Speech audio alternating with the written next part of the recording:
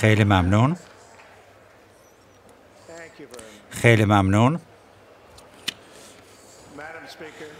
خانم رئیس مجلس آقای معاون رئیس جمهور اعضای کنگره بانوی اول ایالات متحده اشاره به خانم ملانیا ترامپ.